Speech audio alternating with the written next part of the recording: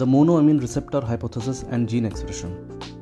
And because of this forementioned lack of direct evidence, the focus of hypothesis has shifted from monoamine neurotransmitters to their receptors and the downstream molecular events that these receptors trigger, including the regulation of gene expression and the role of growth factors. There is also great interest in the influence of nature and nurture on brain circuits, especially what happens when epigenetic changes from stressful life experiences are combined with the inheritance of various risk genes.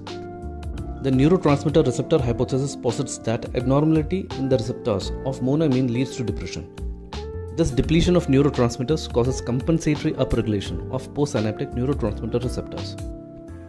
And postmortem studies do consistently show increased number of serotonin 2 receptors in the frontal cortex of patients who committed suicide.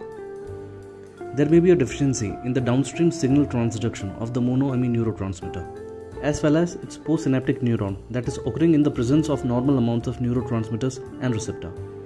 Thus, the problem in depression could lie within the molecular events distal to the receptor in the signal transduction cascade system and in the appropriate gene expression.